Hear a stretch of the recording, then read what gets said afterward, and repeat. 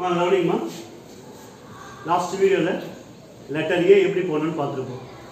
இப்போ letter C small letter four lines நோட்டில் எப்படி ப்ராக்டிஸ் பண்ணுங்கிறத சொல்லி கொடுக்குறேன். யூஸ்வலாக லெட்டர் சி வந்து இப்படி போட போகிறோம் நார்மலாக புரியுதுங்களா? இப்போ நம்ம ஸ்டைலிஷாக இட்டாலிக்கில் எழுதும்போது அந்த லெட்டரில் நோஸ் வேணும் டெய்ல் வேணும். நோஸ் எதுக்குன்னா மூக்கு. எதுக்குன்னா அதுக்கு அடுத்த வர லெட்டரோட சேரணும். டெய்ல் எதுக்குன்னா அதுக்கு முன்னாடி வர லெட்டரோட சேரணும். மூக்கு அப்புறம் வால் ஒவ்வொரு லெட்டருக்கும் அவசியம். அப்போ தான் லெட்டரை வந்து கனெக்ட் பண்ண முடியும். முன்னாடி வர எழுத்தோடையும் பின்னாடி வர அடுத்து வர எழுத்தோடையும் நடுவில் இருக்கக்கூடிய எழுத்து சேர்க்கணும். அதுக்காக தான் இந்த நோஸ் டெய்ல் அப்படிங்கிறத நம்ம பண்ணுறோம் யூஸ்வலாக சி வந்து இந்த மாதிரி போடும் இப்போ சி எப்படி போடணும்னு சொல்லி கொடுக்குறேன். கவனிங்க. பதிமூணு லெட்டர் தேர்ட்டீன் லெட்டர்ஸ் செகண்ட் லைனில் தேர்ட் லைனில் மட்டும் வரும். ஏற்கனவே செகண்ட் லைனில் தேர்ட் லைனில் வரக்கூடிய ஏ பார்த்துட்டோம். இப்போ செகண்ட் லைனில் தேர்ட் லைனில் மட்டும் வரக்கூடிய லெட்டர் என்ன லெட்டர் சி பார்க்க போகிறோம் first line second line third line fourth line இந்த பதிமூணு லெட்டர்ஸ்க்கும் இந்த தேர்ட்டீன் லெட்டர்ஸ்க்கும் நமக்கு ஃபர்ஸ்ட் லைனும் ஃபோர்த் லைனும் என்ன? வேண்டாம். வரக்கூடாது. புரியுதுங்களா? இப்போ லெட்டர் சி போட போகிற பாருங்க. ஃபர்ஸ்ட் கவனிங்க. தேர்ட் லைனில் ஆரம்பிக்கிறீங்க. கொண்டு போயிட்டு டச் பண்ணி திருப்பி சென்டர் கொண்டு வந்து நிறுத்துறீங்க. செகண்ட் லைனுக்கு தேர்ட் லைனுக்கு நடுவில் நிற்குது திரும்பவும் அடுத்த ஸ்டோக் கவனி கொண்டு வந்து இங்கே நிறுத்திடுறேன். நிறுத்திட்டு திருப்பி அப்படியே கொண்டு வந்து கீழே வந்து பேஸ் டச் பண்ணி கொண்டு வந்து நிறுத்துறேன்.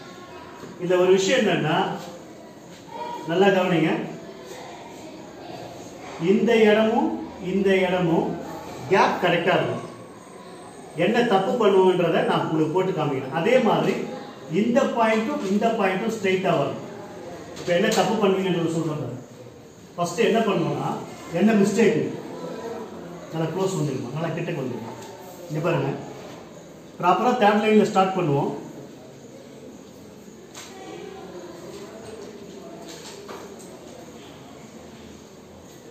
என்ன தப்புன்னு தெரியுதா? சொல்லுங்க. தெளிவா சத்தமா தைரியமா சொல்லுங்க. இங்க இந்த இடத்துல இடம் அதிகமா இருக்கு. இங்க இடம் கம்மியா இருக்கு. அது தப்பு. அடுத்த தவறை கவனிங்க.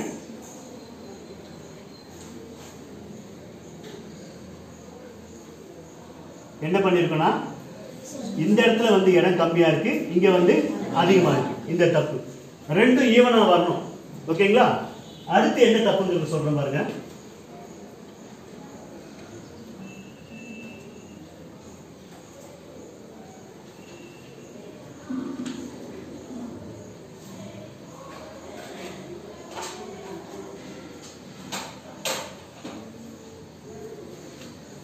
கரெக்டா இங்க கேப் கரெக்டா கொடுத்துட்டேன். இங்கேயும் கரெக்டா இருக்கு இங்கேயும் கரெக்டா இருக்கு. ஆனா இந்த ரெண்டு லைனும் சந்திக்கணும்னு சொன்னேன். புரியுதுங்களா? இது செகண்ட் லைன் இது தேர்ட் லைன் செகண்ட் லைனுக்கும் தேர்ட் லைனுக்கும் நடுவில் இது ரெண்டும் சந்திக்கணும்னு சொன்னேன். இது அதிகமாக இறக்கிட்டேன்.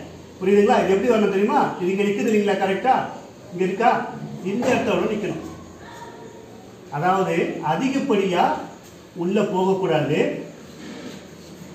இப்படி அதிகப்படியாக உள்ளே போகக்கூடாது. கரெக்டாக செகண்ட் லைனுக்கு தேர்ட் லைனுக்கு நடுவில் வந்து நிற்கணும் நின்றுட்டு லைனை கரெக்டாக டச் பண்ணி கீழே டச் பண்ணிட்டு இப்படி போகும்போது இந்த கேப்பும் இந்த கேப்பும் கரெக்டாக இருக்கணும். செகண்ட் லைனுக்கு தேர்ட் லைனுக்கு நடுவில் இங்கே வந்து நிற்கணும் செகண்ட் லைனுக்கு தேர்ட் லைனுக்கு நடுவில் இங்கே வந்து நிற்கணும் இது ரெண்டும் கரெக்டாக ஜாயின் பண்ணணும் புரியுதா? இங்கே பாருங்க.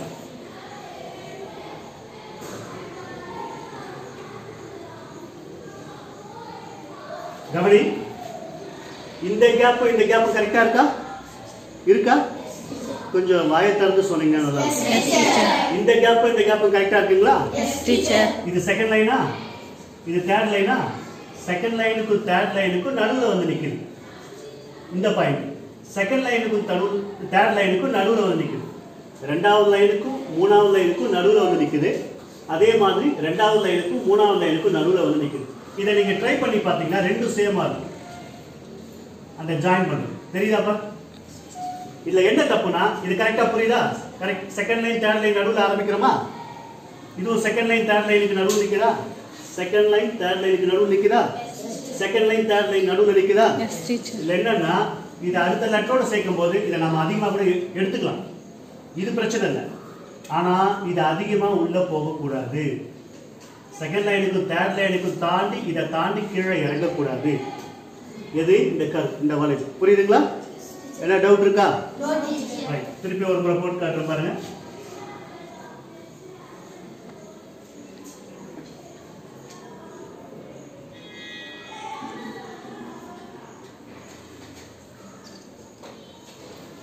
இந்த கேப்பும் இந்த கேப்பும் கரெக்டாக இருக்கும்.